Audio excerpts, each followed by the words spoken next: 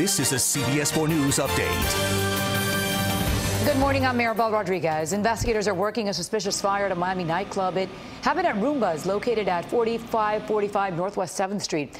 According to Miami Fire Rescue, someone, someone passing by reported flames and smoke around 3 this morning. When crews arrived, the front door was open, a piece of plexiglass was pushed out, and they found a single black glove on the ground. There was also a notice on the front door by the landlord saying the owner must pay almost $17,000 in rent and late fees by today or vacate.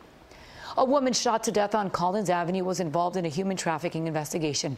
32-year-old Latoya Michelle Wiggins was shot and killed on 10th and Collins Avenue in Miami Beach Sunday. Police are looking for shooting suspect 33-year-old Keith Brown. Officers believe surveillance video captured Brown running from the crime scene early Sunday morning. Police are investigating the death of two people near Hollywood Beach. About 2.30 yesterday morning, the body of a middle-aged woman was found in the water at Fillmore Street and the ocean. Then a second body was discovered at a hotel a block away on New York Street. The second body was a man who is related to the case. Police are not saying how either died. They are saying the two knew each other and this was not a random act of violence. The parents of the teenage driver killed in a fiery Tesla crash in Fort Lauderdale last year are suing, suing Tesla. The parents of Barrett Riley say Tesla failed to put a safety feature on their battery that would have prevented the vehicle from being engulfed in flames during an accident. The parents also say they asked Tesla to put a speed limiting device on the car after their son got a speeding ticket for driving more than 110 miles per hour. The family says Tesla removed the device without their knowledge. We reached out to Tesla for comment on the lawsuit, but have not heard back.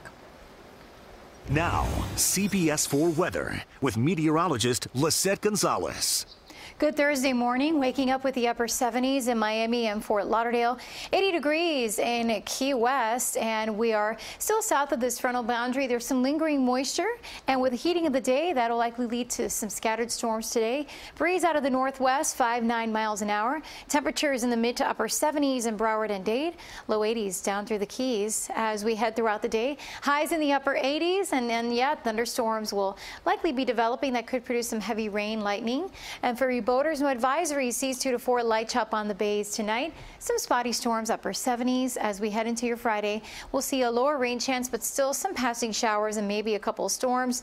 For your weekend, looking drier, less humid, pleasant sunshine, and highs right around 86.